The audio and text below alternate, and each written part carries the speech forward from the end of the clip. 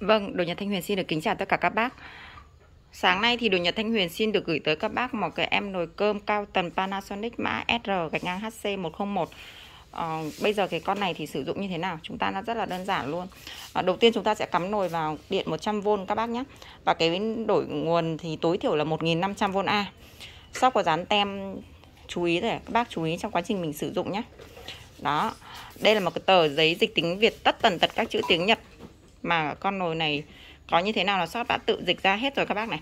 Các bác có thể dừng màn hình tại chỗ này để chụp lại cái phần hướng dẫn tiếng Việt này nhé hoặc có thể là bác nào mà đã có con nồi này nồi rồi nhưng mà lại không có cái tờ giấy dịch tiếng Việt này, có thể liên lạc với đồ Nhật Thanh Huyền để đồ Nhật Thanh Huyền gửi một cái file mềm miễn phí cho các bác nhé hoàn toàn miễn phí.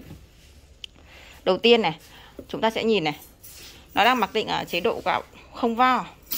Chúng ta ấn menu một lượt nữa để cho về gạo trắng các bác nhé rồi, đấy. Cái phần đầu tiên này, chữ bái mì đây, gạo trắng này. Và mặc định là chế độ nấu tiết kiệm điện. Tương ứng này, tiết kiệm điện này. Chúng ta ấn thêm một lần nữa là đây là chế độ nấu thường của chúng ta ấn nút nấu thôi. Rất là đơn giản.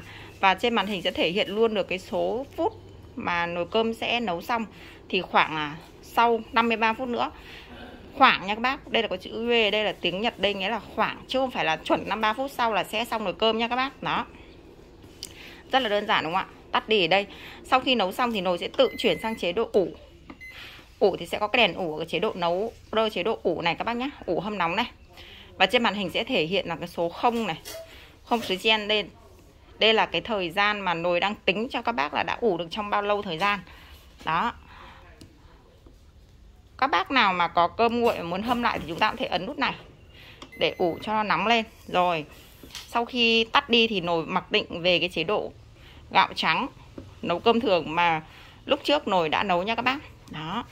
Và cái thời gian thì nó khoảng gần một tiếng đồng hồ. Nếu như nhà bác nào mà chúng ta cần nhanh hơn một chút xíu thì chúng ta có thể chọn sang chế độ nấu nhanh, nấu thường này nấu cơm với lượng ít này. Nấu nhanh, ok.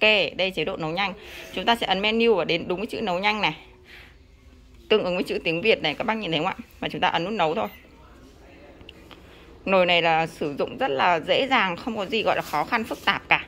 Đặc biệt là khi chúng ta mua nồi cơm tại đồ Nhật Thanh Huyền thì sẽ có một cái tờ giấy dịch tiếng Việt thế này rồi. Chúng ta tắt đi này. Đó, tắt đi thì luôn mặc định về chế độ nấu thường gạo trắng nhá các bác. Rất là đơn giản, đúng không ạ? Nấu thường, nấu lượng ít này, nấu nhanh này, nấu cơm sushi, nấu cháo, nấu gạo lứt, nấu gạo manan đó. Và các chế độ nấu ăn khác. Rất là đơn giản, đúng không ạ? Vâng và cái con nồi cơm này thì là còn giờ. Còn pin nha các bác. Hiện tại là 7 giờ 47 phút. Giờ shop sẽ hướng dẫn các bác cách lấy lại giờ cho con nồi cơm này. Các bác nhìn ở bên trái màn hình chúng ta có một cái hàng dọc có chữ giờ chữ phút, đúng không ạ? Chúng ta ấn và giữ. Nghe tiếng tắt này đấy ạ. Thì chỉnh giờ về số 7 tức là 7 giờ nhá. Ok, rồi 47 phút từ nãy giờ chúng ta cho lên 48 phút đi Xong xây một xíu. 48 phút được chưa ạ?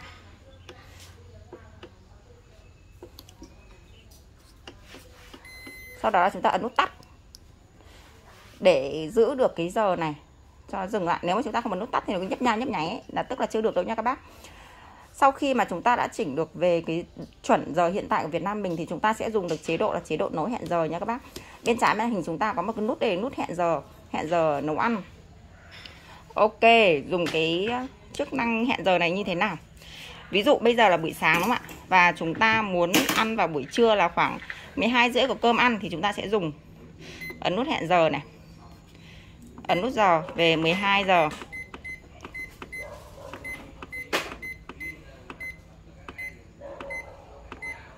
Ok 12 giờ và chúng ta ấn nút nấu. Đó, thế là đã hoàn thành nhá các bác. Các bác nhìn này, cái nút hẹn giờ nó có ký hiển thị cái màu xanh lên. Tức là nồi đã được nấu ở chế độ nấu hẹn giờ. Và nhìn trên màn hình này chúng ta sẽ thấy được thông tin là gì?